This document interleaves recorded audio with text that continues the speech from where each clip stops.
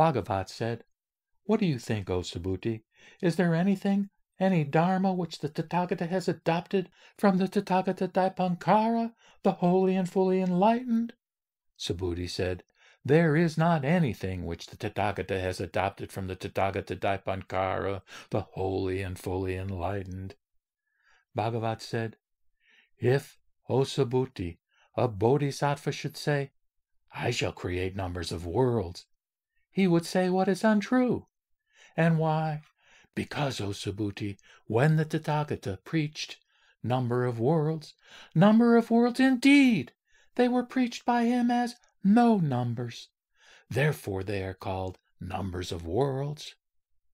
Therefore, O Subhuti, a noble-minded bodhisattva should, in this wise, frame an independent mind, which is to be framed as a mind not believing in anything, not believing in form, not believing in sound, smell, taste, and anything that can be touched. Now, for instance, Subhuti, a person might have a body and a large body. So his size should be as large as the king of mountains, Sumeru. Do you think then, Subhuti, that his selfhood, he himself, would be large? Subhuti said, Yes, O Bhagavat. Yes, O Sugata. His selfhood would be large. And why? Because, O Bhagavat, when the Tathagata preached selfhood, selfhood indeed, it was preached by him as no selfhood. Therefore it is called selfhood. Bhagavat said, What do you think, O Subhuti? If there were as many Ganga rivers as there are grains of sand in the large river Ganga, would the grains of sand be many? Subhuti said, Those Ganga rivers would indeed be many, much more the grains of sand in those Ganga rivers. Bhagavat said, I tell you, Subhuti, I announce to you, if a woman or man were to fill with the seven treasures as many worlds as there would be grains of sand in all those Ganga rivers, and present them as a gift to the holy and enlightened Tathagatas, what do you think, O Subhuti? Would that woman or man on the strength of this produce a large stock of merit?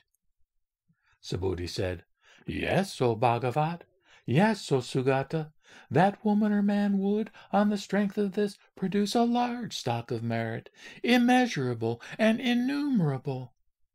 Bhagavat said, And if, O Subhuti, a woman or man having filled so many worlds with the seven treasures should give them as a gift to the holy enlightened Tathagatas, and if another son or daughter of a good family, after taking from this treatise of the law one gatha of four lines only, should fully teach others and explain it, he or she, indeed, would, on the strength of this, produce a larger stock of merit, immeasurable and innumerable.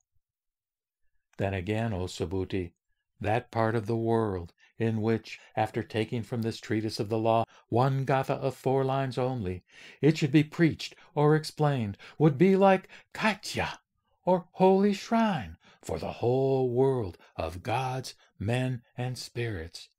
What should we say then of those who learn the whole of this treatise of the law to the end, who repeat it, understand it, and fully explain it to others?